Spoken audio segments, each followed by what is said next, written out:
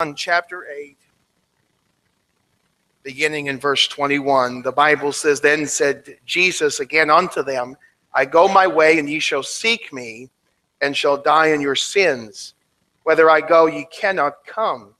Then said the Jews, Will he kill himself, because he saith, Whether I go, ye cannot come? He said unto them, Ye are from beneath, and I am from above. Ye are of this world, I am not of this world. Speaking of his deity, Jesus Christ is God. I said therefore unto you, that ye shall die in your sins. Ye shall die in your sins, for if ye believe not that I am he, ye shall die in your sins. Do you notice the urgency of the Lord Jesus speaking to these scribes and Pharisees? He mentions three times in this passage of Scripture if you do not believe that I am He, you shall die in your sins. You shall die in your sins. This is important to the heart of the Savior. And we're going to look at it this morning as we consider this thought that if ye shall not believe that I am He, ye shall die in your sins. Let's pray together. Father, I pray you'd help us this morning as we have taken this time in our service to look at your word. And Father, I pray you would help us to examine it correctly. Father, we want to know the truth. It is the truth that will make us to be free. And I pray, Heavenly Father, that you would speak to hearts. I pray, Father, that all of us leaving this room this, this morning would know 100% sure that we have a salvation in the Bible and God, a true salvation, and we can sing, Thank you, Lord, for saving my soul. I pray, Father in heaven, that you lead and direct us. We pray it in Jesus' precious name. Amen. The Bible says in this passage of Scripture, verse 24, I said therefore unto you that ye shall die in your sins, for if ye believe not that I am He, then ye shall die in your sins. I want you to turn with me to 2 Corinthians chapter 5. 2 Corinthians chapter 5. As we've been walking through the Gospel of John, I've been looking at the next verses of this passage of Scripture, and I was considering changing the message for a Thanksgiving sermon, but the Lord wouldn't allow me to do it. We can be thankful for our salvation. Amen. I think that's a wonderful thing. And we find in this passage of Scripture that the Lord Jesus Christ is preaching salvation. He's preaching to these Pharisees that they must come to Him to be saved. The Bible says in 2 Corinthians chapter 5 verse 19, Paul the apostle writing under the inspiration of the Spirit of God, of course, he says, To wit, that God was in Christ, reconciling the world unto himself, not imputing their trespasses unto them, and have committed unto us the word of reconciliation. Now then, we are ambassadors for Christ, as though God did beseech you by us. We pray you in Christ's stead be reconciled to God, for he hath made him to be sin for us who knew no sin, that we might be made the righteousness of God in him. For he hath made him to be sin for us who knew no sin, that we may be made the righteousness of God in him. The Bible teaches us, as we compare Scripture with Scripture, that there is a decision to be made. As humanity, we can die in our sins and spend an eternity separated from God, paying for those sins. Or we can accept the payment that Jesus Christ died for those sins. And that is what the Bible teaches us. The choice is ours to make. And here in this passage of Scripture, Jesus is beseeching these Pharisees you must believe that I am the Christ, the one who paid your sin debt or you will die in your sins. This is a serious thing. Three times he tells them, You'll die in your sins. You'll die in your sins. You'll die in your sins. Your sin debt must be paid.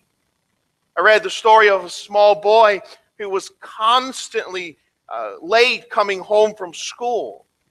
His parents warned him one day that he must be home on time that afternoon, but nevertheless, that child was the latest that he's ever come home.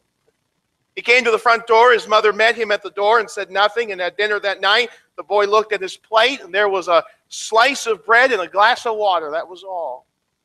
He looked at his dad's plate, his full plate. He asked his father, and his father remained silent. The boy was crushed. The father waited for the full impact to sink in, and then quietly and quickly he took the boy's plate, placed it in front of himself, and he took his own plate of meat and potatoes, put it in front of the small boy, and he smiled at his son. The boy said as he grew to be a man, he said, All of my life I've known what God is like by what my father did to me that night. And that is truly salvation.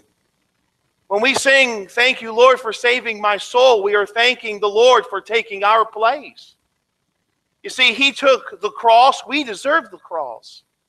He died for our sin. He became sin who knew no sin, that we might be made the righteousness of God. He took the cup, the bitter cup of death, so that we could know God and have a place in heaven for us. That is eternal life. That is salvation. Someone has penned Jesus Christ, our blessed Savior, turned away God's wrath forever by his better uh, by his better grief and woe. He saved us from the evil foe. Christ has come, all ye that labor, and receive my grace and favor. They who feel no want or ill need no physician's help or skill as his pledge of love undying, for his precious food supplying, gives his body with the bread and with the wine and blood he shed. Praise the Father who from heaven unto us such food hath given, and to mend what we have done, God unto death his only Son. If thine heart this truth professes, and thy mouth thy sin confesses, his dear guest thou here shall be, and Christ himself shall banquet thee. In order for us to understand this passage of Scripture in John chapter 8, when Jesus is beseeching these Pharisees, you shall die in your sin, you shall die in your sin, we have to open the Bible as a whole. And we have to understand the truth of what God is talking to, ta- speaking about, and what God is speaking to us about our condition. I want us to notice, if you're taking notes this morning, write it down the debt of sin. The debt of sin. You see, sin has a finished consequence. You say, Pastor Burns, what do you mean? Turn with me to the book of James, if you would. We're looking at what the Bible says. This is not our opinion, this is what the Bible says. And we're looking at various scriptures to prove it. The Bible says in James chapter 1, would you turn there? James chapter 1, it's wonderful to hear the pages of the Bible turning. You know, a lot of churches, you don't hear that. James chapter 1, look what the Word of God has to say. We'll begin our reading in the 13th verse. James chapter 1, verse 13. The Bible says, Let no man say when he is tempted, I am tempted of God, for God cannot be tempted with evil, neither tempteth he any man. But every man is tempted when he's drawn away of his own lust and enticed. Then when lust hath conceived, it bringeth forth sin. And sin, when it is finished, bringeth forth death. The Bible says that the finished consequence of our sin is death. We can dress it up, we can ignore it like a lot of people do today. But the reality is, for all have sinned and come short of the glory of God and the Bible says, For by one man, Adam, sin entered into the world, and death by sin. So death passed upon all men because the finished consequence of our sin is death. And the reality is that everyone in this room will die one day because we are all sinners. The finished consequence, when sin is completed, the Bible says it bringeth forth death. Romans chapter 6, verse 23 For the wages of sin is death. The end result of sin is death. Sin brings death. And we're all guilty of sin. What the Bible says. Romans chapter 3, verse 19. Now we know that what things soever the law saith, it saith to them that are under the law, that every mouth may be stopped, and all the world may be guilty before God. We're all guilty before God. We've all sinned, and the Bible says that the finished consequence of our sin is death. I mean, look through the Bible, look through the Word of God, and you read about wonderful men of God men who made good decisions, men who made bad decisions. But when you read about their life, you read about their end. And their end was death. The Bible tells us in Genesis 5, verse 5, all the days that Adam lived were 930 years. And he died. Genesis 5, verse 8, and all the days of Seth were 912 years. And he died. Hebrews chapter 11, verse 13, these all died in, in faith. Death is the finished consequence of our sin. But not only do we notice the finished consequence, there's also a fearful conclusion. Now, look what the Bible says in John chapter 8. I don't want you to miss this. Let's go back to our text, the eighth chapter, of the book of John, and notice what the Bible says in verse 21. John chapter 8 and verse 21. The Bible says this, verse 21 Then said Jesus again unto them, I go my way, and ye shall seek me, and shall die in your sins. And whither I go, ye cannot come. Strong words of the Lord Jesus Christ. I go my way, I leave you, ye shall die in your sins, and where I go, Jesus said, ye cannot come. Not you may come, not a hope so, not well, we're gonna we're gonna take all of your good and all your bad and put in the giant scale of life and see which way it tilts. No, he says you cannot come. Where I go, you cannot come. I want you to turn to the very last book of our Bible, the book of Revelation. This was the last plea of the God of heaven for humanity to come to Christ. Genesis, or excuse me, in the book of Revelation, the 21st verse, I want us to notice what the Bible says in verse 27, Revelation chapter 21, verse 27. The Bible says this in verse 20, uh, chapter 21, verse 27 and there shall in no wise enter anything that defileth. This is speaking of heaven. The Bible says, and there shall in no wise enter in, into it anything that defileth, neither whatsoever worketh abomination or maketh a lie, but they which are written in the Lamb's book of life. Nothing is going to enter into the presence of Almighty God. Nothing that is defiled. That's what the Bible says nothing that worketh an abomination, nothing that maketh a lie. Let me ask you this question this morning. Let's be honest this morning. Have you ever told a lie? Even a small one? If you say, I've never told a lie, guess what? You just did. we have a problem. The Bible tells us that our finished consequence is death. We understand that that is a physical death and a spiritual death. The Bible says in the book of Revelation that nothing is enter, going to enter into the presence of God, nothing that defileth, nothing that worketh an abomination, nothing that even maketh a lie, nothing will enter into the presence of Almighty God. And the Bible tells us that there is a physical death. There's no doubt about it. We see that every day but also there is a spiritual death, which people don't want to think about, people don't want to believe, but the Bible tells us it's true. In Revelation chapter 20, verse 14, and death and hell were cast into the lake of fire. This is the second death. And whosoever was not found written in the book of life, they were cast into the lake of fire. There is a heaven to gain, but there's a hell to shun. And that is what the Bible teaches us.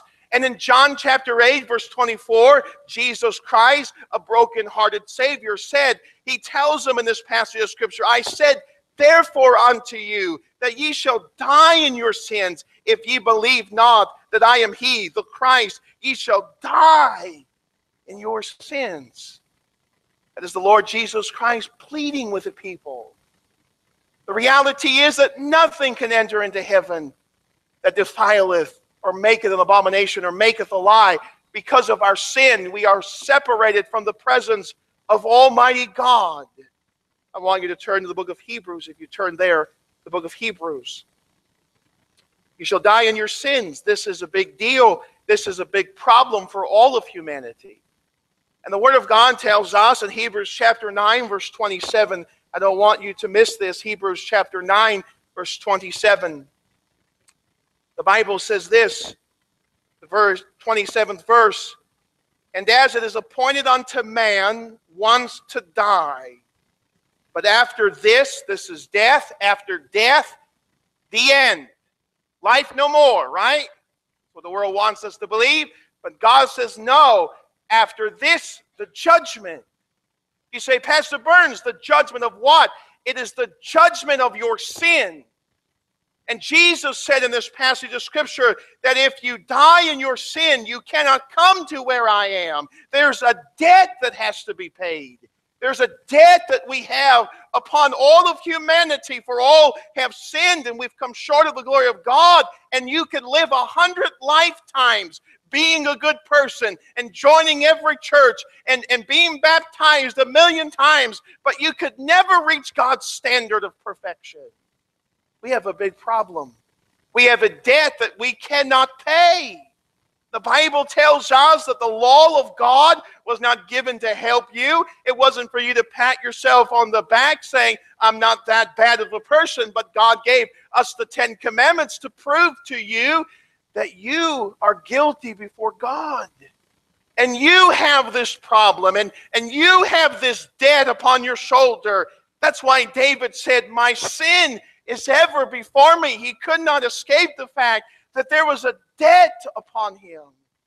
How would we pay this debt? How can we go to heaven? How can we know the Lord? Well, there's the debt of sin. But I'm happy to tell you this morning there's the deliverance from sin.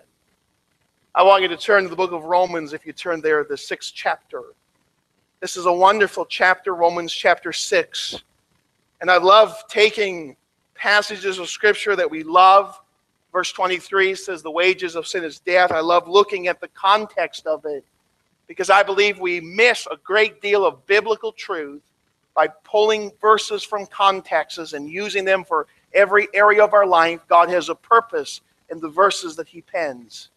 And then in John, in, uh, excuse me, Romans chapter 6, the Bible says in eight, the 18th verse, being made free from sin. Now, let me ask you this question. If you owed $1 million to a company or a business or an individual, and that debt was ever before you, I mean, every day you woke up that debt was always before your eyes. You didn't know how you were going to pay that debt. It was an amount of money that you could never pay.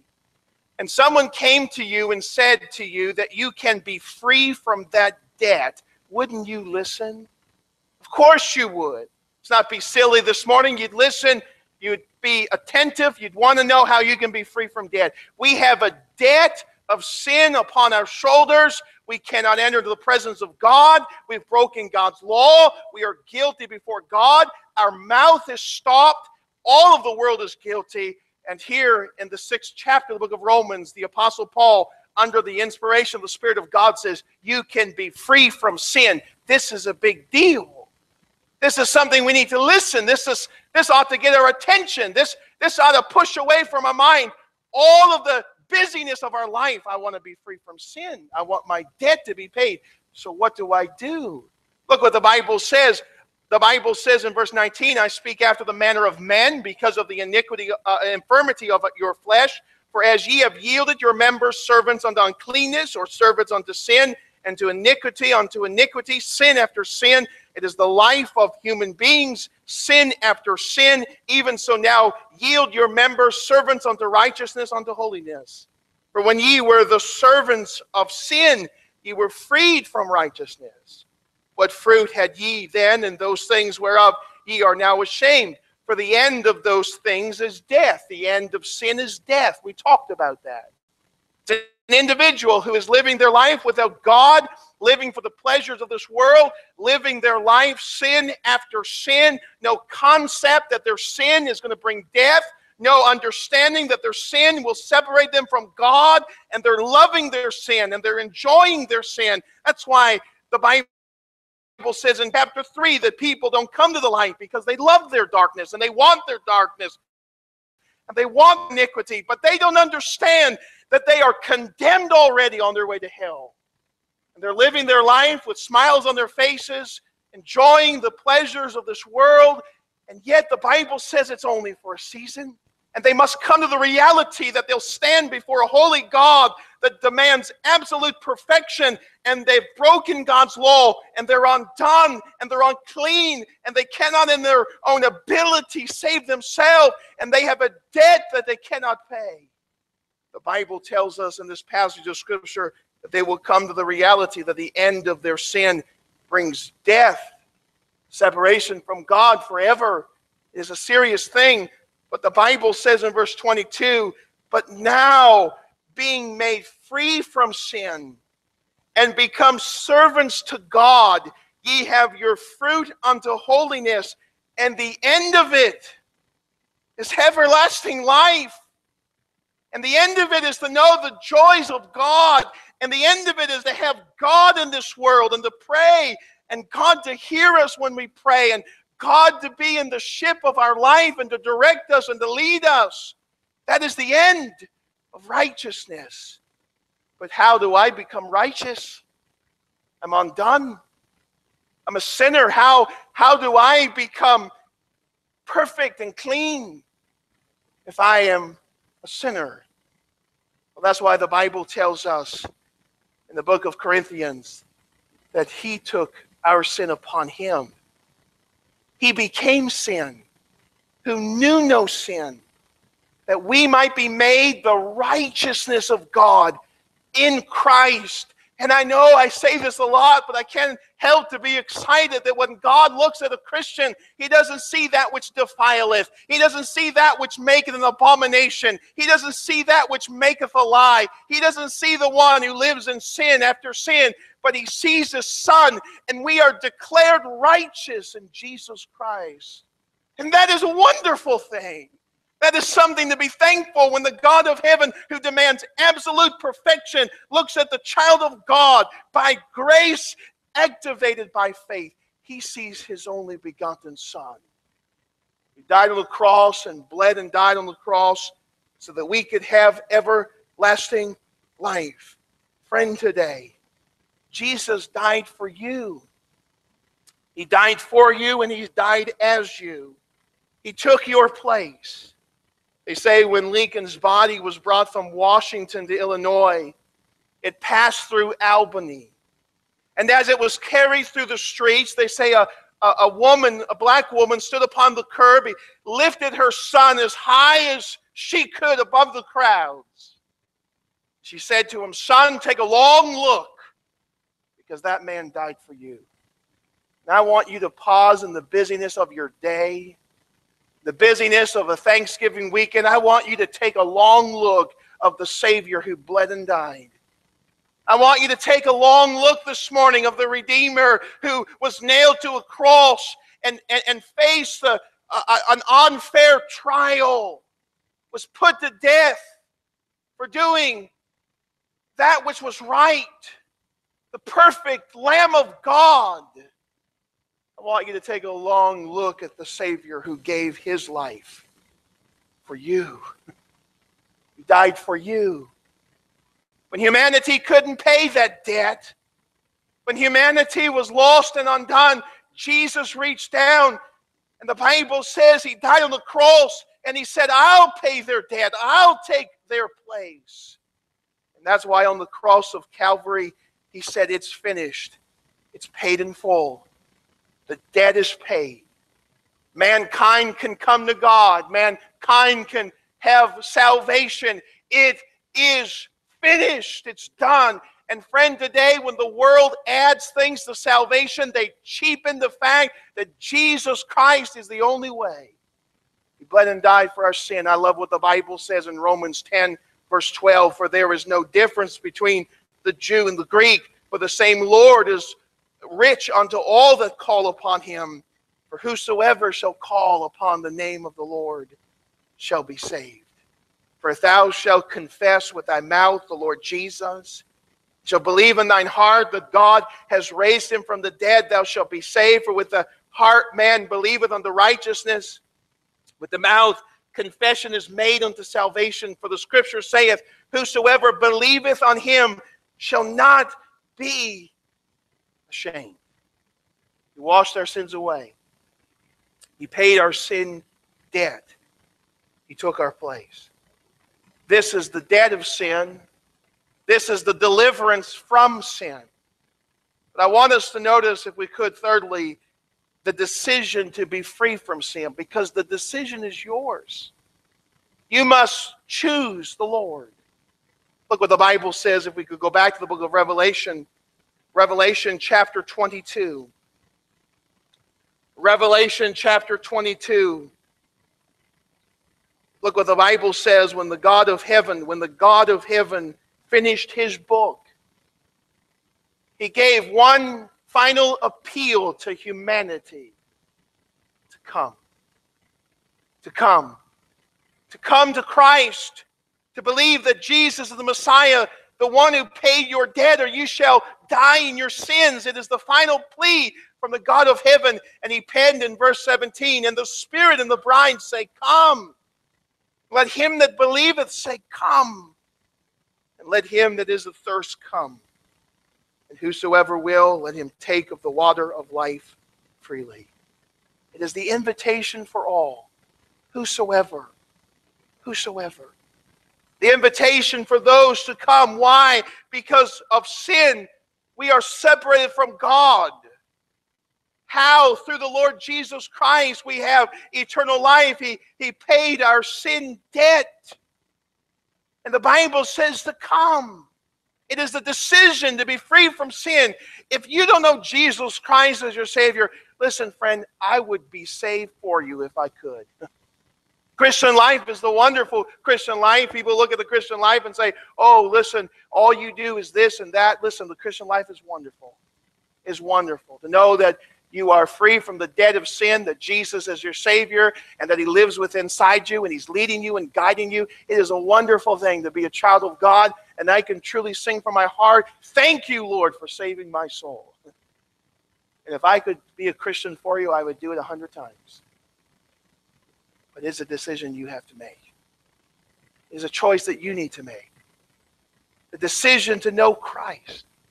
The Bible says in 1 John chapter 5, verse 12, He that hath the Son hath life, and he that hath not the Son hath not life. But the wrath of God abideth on him.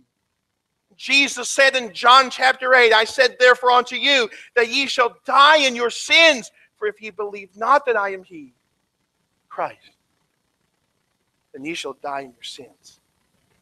Because there's a debt you cannot pay. There's a Savior who loved you so much, he went to a cross and paid your debt. The Bible says that whosoever would recognize the fact that Jesus Christ died on the cross, that you cannot pay your debt on earth in any way, that it's only through the Lord. The Bible says that his sin, though it was upon him on the cross, his righteousness will be upon you that moment you believe, and you will be declared righteous in the sight of Almighty God. Your sin will be gone, and you can say, as the prophet in Micah said, My sin is buried in the deepest sea. It is separated as far as the east is from the west, and God remembers it no more, not because God cannot remember it. He is God, He is all knowing, because God chooses not to remember it. Is gone. The Bible says it's washed away in the blood of the Lord Jesus Christ the book of Revelation tells us. And friend, today you can know that you're going to heaven. As I sat down on Saturday in discipleship and told individuals, they can know that heaven is your home. And to be absent from this body is to be present with the Lord, not something you hope, not something it's a maybe, it's something that you know. You can know today that heaven is your home.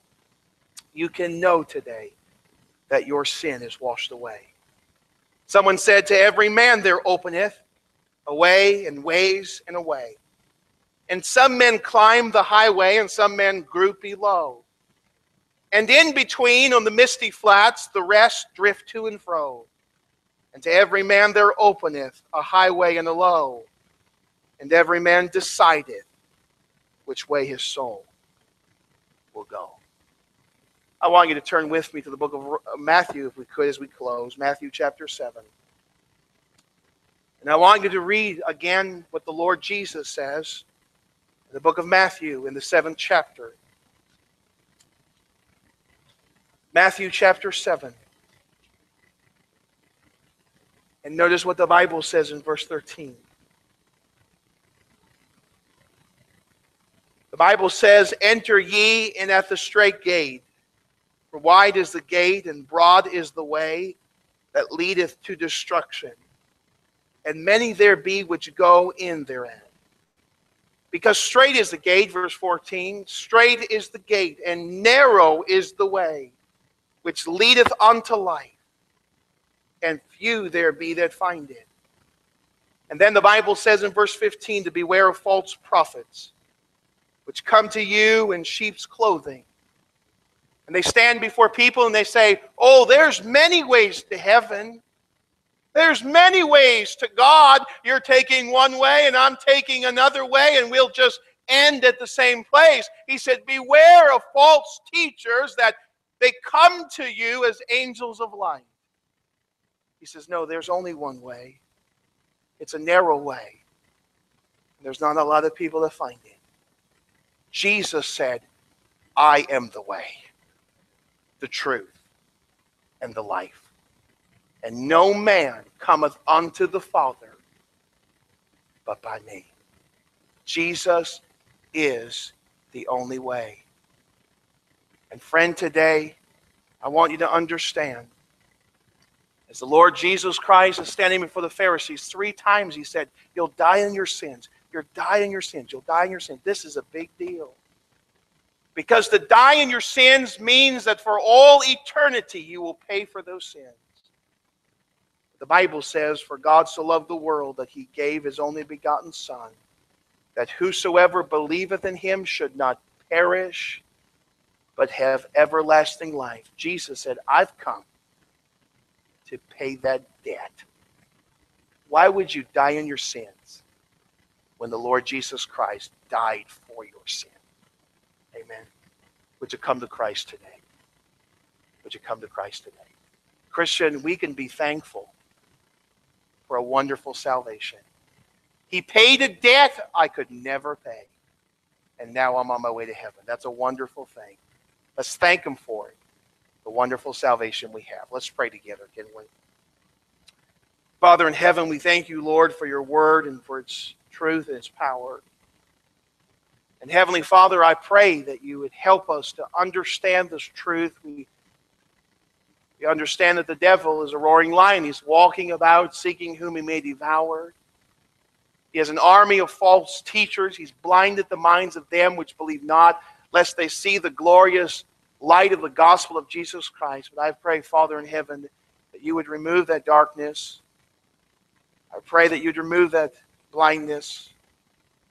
I pray, Father in heaven, if there's an individual that does not know you as Lord and Savior, that today would be the day of salvation for them. Father in heaven, we don't know how long we have on this earth, and I beg you, Lord, that they would not die in their sin that they would accept the payment for their sin in Jesus Christ and be in Christ and be robed in righteousness and stand before you declared righteous. Oh God, I pray that they'd be saved. And Father, I pray that as Christians that we would be a people of thanksgiving, that we would thank you for our salvation, that we would not take it for granted. But Father, I pray that we would have this attitude of praise that we had a debt that we could never pay. But Father, you cried on the cross, it's finished, it's paid in full. And Father, we thank you. I pray, Lord, that you would have your way in this invitation. Help us to make good decisions this morning. As heads are bowed, eyes are closed, no one's looking around. Let's stand to our feet if we could for just a moment. As the piano plays, if God has spoken to your heart, maybe you want to come to this altar and thank the Lord for the salvation that you have and boldness to spread that salvation to others. Would you come this morning? Would you thank Him on this wonderful Thanksgiving morning? Would you thank Him for that wonderful salvation? If you don't know Jesus as your Savior, if you have doubts about it, or wherever you are in your Christian or in your life, we want you to know that Jesus Christ loves you and died for you. He wants you to go to heaven with Him. You say, Pastor Burns, I don't know if I'm a Christian. I'm concerned about it. I want you to pray for me. Would you just lift your hand? I want to pray for you. I'm not going to call it your name or come to where you are. But you'd say, Pastor Burns, I don't know if I'm a Christian. I'm concerned about it. Would you just slip up your hand quickly, quietly? Is there anyone like that at all? Anyone at all? I don't know if I'm a Christian. I don't know if I'm going to heaven. And I'm concerned about it. Would you slip up your hand? Is there anyone anywhere? I don't know if I'm a Christian this morning. Anyone anywhere? You say, Pastor Burns, I am a Christian, and message